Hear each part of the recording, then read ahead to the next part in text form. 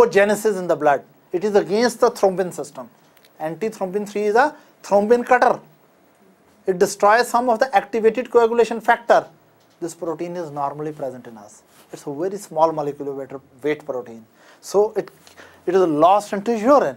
And when this protein is lost into urine for a long time, blood is losing anticoagulant proteins, so blood will become procoagulant. So patient will develop thrombosis more readily. Am I clear? Right? So many of the patients with, uh, with nephrotic syndrome develop thrombosis in the veins, especially renal vein thrombosis. So these patients have thrombotic tendency. One of the reason for thrombotic tendency, only one reason is, there are multiple reasons of thrombogenesis, but one reason in these patients of thrombogenesis is loss of anticoagulant proteins into urine. And then there are more reasons. What are the reasons that these patients undergo repeated thrombo thrombus formation? Number one is loss of anti-thrombin 3 or other anticoagulant proteins. Number two may be due to hyperlipidemia, hyperlipidemia, lipid incorporate and disturb the platelet membrane. And you know when platelet membranes are disturbed, they love to stick to each other, so thrombogenesis. Then high lipids also disturb the membrane of endothelium. When endothelial membranes are disturbed, that also becomes thrombogenic. And then of course, highly concentrated blood, hemoconcentration. Blood flow is fast or slow through the veins? Stasis. Stasis. Further adding to thrombogenesis. So there are multiple reasons why these patients develop a tendency for thrombogenesis. And story does not end up there. Some very important, some more very important proteins also leak down. What are those? Maybe some of the immunoglobulins. But more importantly, low molecular weight complements are lost into urine. And if low molecular weight complement proteins are lost into urine, do you think if patient has less complement factors in the blood, patient can fight with the infection effectively? No, because antibodies with complement are the real fighting machine against many bacteria. So these patients have low chances of infection or high chances of infection? High chances of infection. Many of them die due to infections. Right? Maybe nephrotic syndrome does not kill, but complications of nephrotic syndrome kill. For example, when complements are lost into urine, patient's immune system is disturbed and weak. These patients especially develop pneumococcal infection because we need complements to kill the pneumococci because they're capsulated and we need C3b as opsonin if you have studied the complement system. You know there's something called C3b that help the bacteria to stick with the neutrophil and macrophage and facilitate the phagocytosis of bacteria. Those things are lost. Right? So patient has increased thrombotic tendency, patient has increased tendency for infections.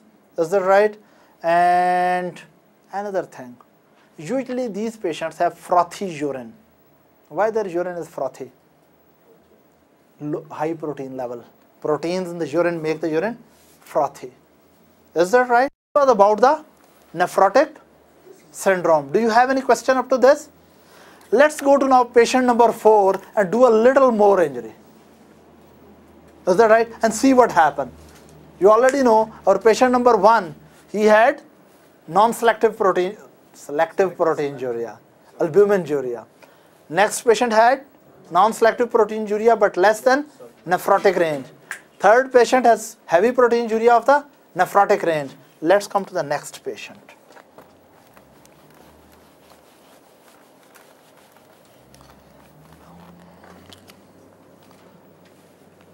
In this patient, suppose this is your circulatory system.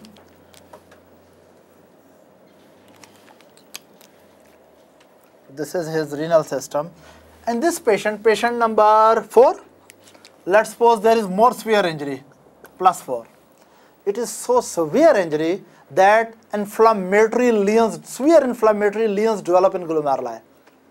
Glomeruli become loaded with neutrophils, they become loaded with macrophages and severe inflammatory lesions form in glomeruli. Just you have a question. Yes, uh, but regarding the, the subnephrotic range, why only low molecular proteins will be lost in the nephrotic range instead of uh, non-selective? No, this will be also non-selective. Correct, but on stage two, Secondly, listen, listen. Actually, some nephrotic patients have only albumin loss and some nephrotic patients have both losses. Right? It depends on. If damage is just increase number of pores but not the size of the pores, you develop you develop albuminuria. And if it is so many pores that total albumin loss is more than 3.5 grams, nephrotic will come. But another nephrotic in which not only increased number of pores is there, but there is increased number of increased size of pores. So he will develop non-selective proteinuria. Am I clear? So listen, this concept that selective proteinuria, it does not tell nephrotic will be there or not. Selective proteinuria only tell that there are some excessive small pores and albumin is coming. But if albumin is less than 3.5 gram, subnephrotic. If it, albumin in the urine is more than 3.5 grams, this is nephrotic. Now listen another patient.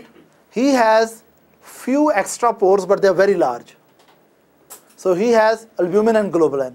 So we say non-selective proteinuria but less than nephrotic. But the same pores become more non-selective proteinuria into nephrotic.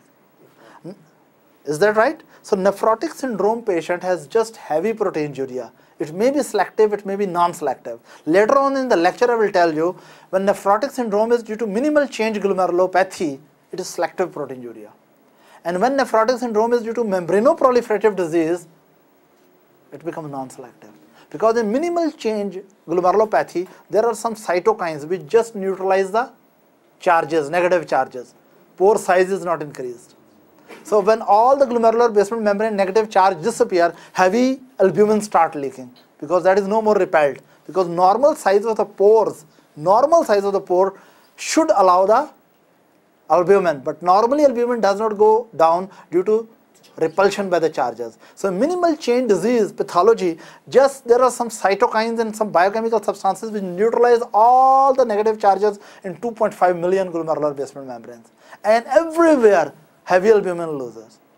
But when I tell you another disease like focal segmental glomerulonephritis, I will teach you later, don't be confused.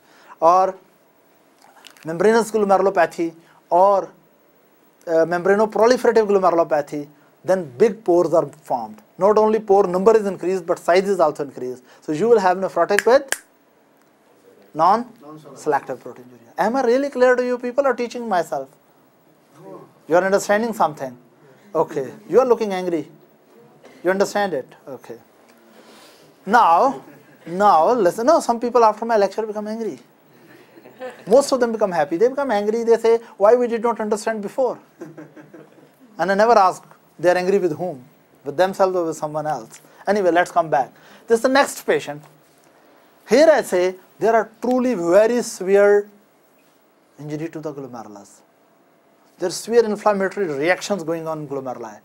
And even glomerular membrane somewhere having big holes. This time, of course, albumin will come down, isn't it? With that, globulin will also come down. Am I right? Mm-hmm. Every type of plasma